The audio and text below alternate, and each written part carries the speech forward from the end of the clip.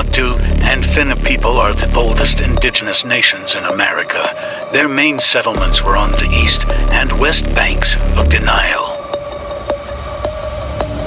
They are known by their national mantra, we about to do this, we about to do that, we finna stand up and get our land back. For more information on the Bou-To and Finna people, give us a minute. We are about to create a website. Then we finna take the world over.